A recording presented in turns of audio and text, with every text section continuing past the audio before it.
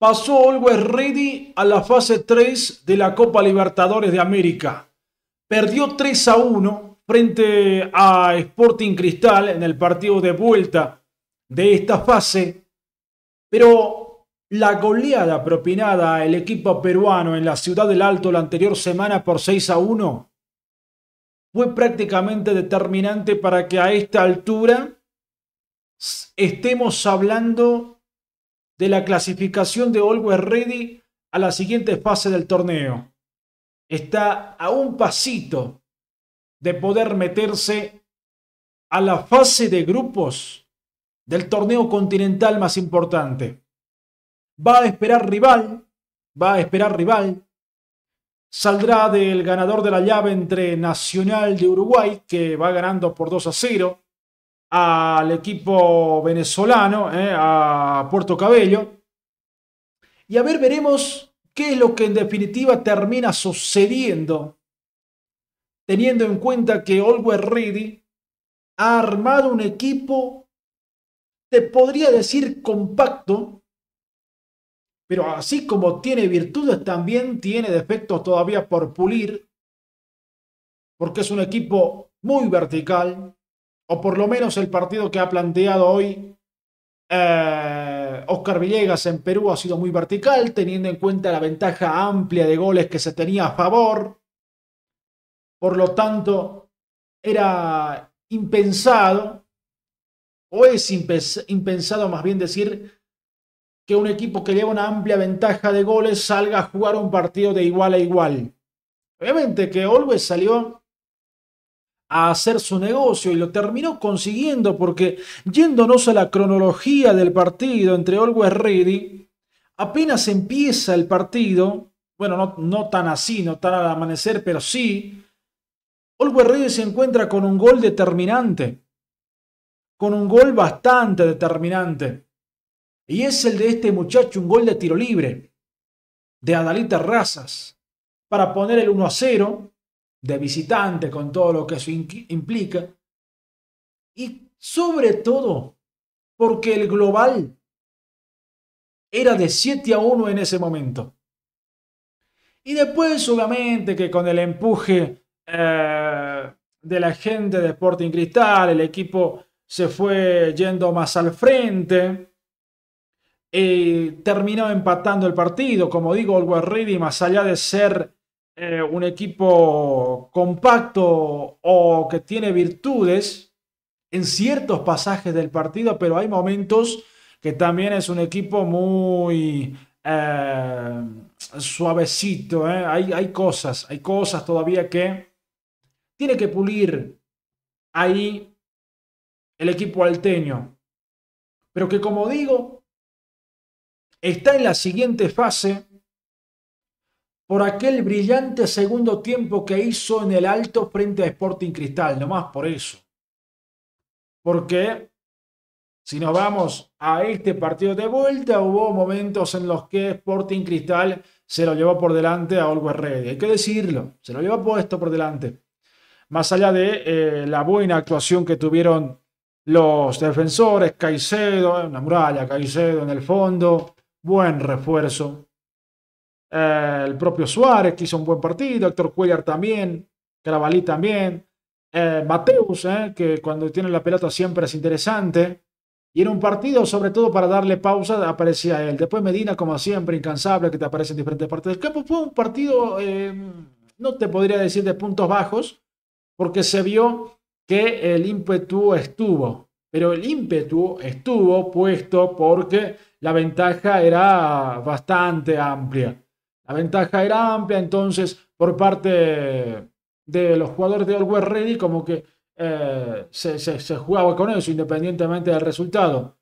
Porque claro, sucede, ¿no? Eh, se ha visto un montón de veces eh, que los equipos bolivianos, cuando están ganando o jugando un partido y van empatando y el rival les hace un gol, se terminan ponchando y se terminan comiendo eh, una goleada. No fue el caso, no fue el caso, más allá que de cierto suspenso después del tercer gol de Sporting Cristal, eh, quedó cierto suspenso. pero no más que eso. Quedó muy lejos, en definitiva, Cristal de poder eh, incomodar el resultado amplio que tenía a favor el conjunto millonario. Se mete a la siguiente fase de este torneo, la fase 3, previo a, previo a poder meterse a la fase de grupos del torneo más importante del continente, que sería una locura, que sería una locura, que va a tener repercusión a nivel internacional en caso Always pueda meterse a la fase de grupos. Y digo esto por qué. Porque todo el mundo está hablando del tema de la altura y dice que por eso eh, Always lo, pasó por arriba a Sporting Cristal en el anterior partido. Y sí, y sí, pero esto lo complementó también con buen fútbol, y con todo eh, lo que implica jugar un partido y jugar una llave decisivas de esas que, que siempre te presenta la Copa Libertadores de América. Eh, fantástico, eh, me encanta siempre, siempre me encanta la clasificación de un equipo boliviano. Siempre me gusta que los equipos bolivianos compitan.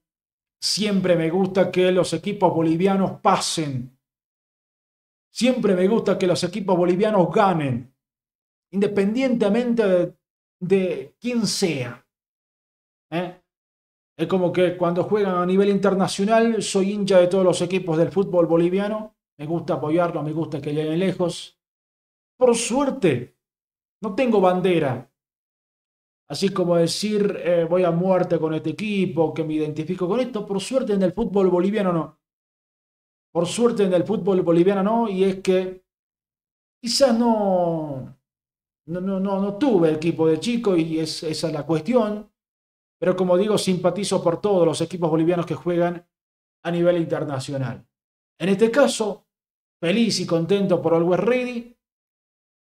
Como estarán los peruanos, seguramente van a decir tema de la altura.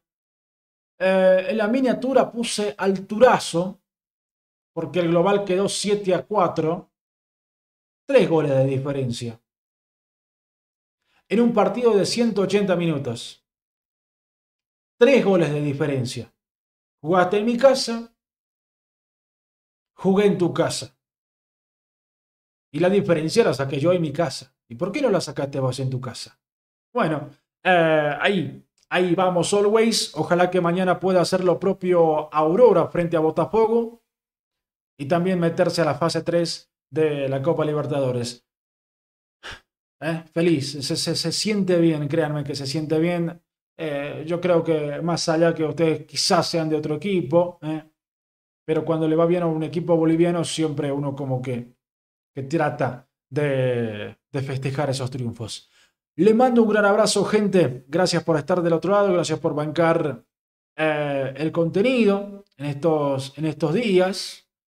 Eh, ojalá que de a poquito empiece, empecemos a tener otra vez eh, vistas. Algo está sucediendo con el canal que nos está recomendando mucho, pero la constancia en esto de YouTube la tengo muy clara, así que por eso desde la anterior semana estoy todos los días, insiste, insiste con videos todos los días. Abrazo grande gente, una manito con un like arriba, comenten eh, cómo le irá a Always Ready en la siguiente fase de la Copa Libertadores, que me parece que va a ser Nacional de Uruguay porque lleva la ventaja en el partido de ida. Se define este eh, martes, este miércoles 28, se va a definir esta llave. Ya conoceremos al rival de eh, Always Ready en la fase 3 de la Copa Libertadores de América. Abrazo grande, gente. Suscríbanse, síganme en las redes sociales, arroba uno Kevin Gallardo en TikTok e Instagram. Ahí apenas terminan los partidos, subo video en vertical, ¿eh? en vertical, para que ustedes lo, puedan ver. Les muestro un poquito mi TikTok, ¿eh? les muestro mi TikTok, acá está, está mi TikTok. ¿eh? Mucho contenido de, fútbol, muchísimo, de, todos los resultados, de todas las noticias que van eh, aconteciendo, así que si llegaron hasta aquí, pues dense una vueltita también por ahí para que estemos compartiendo contenido de fútbol. Abrazo, hasta la próxima, chao.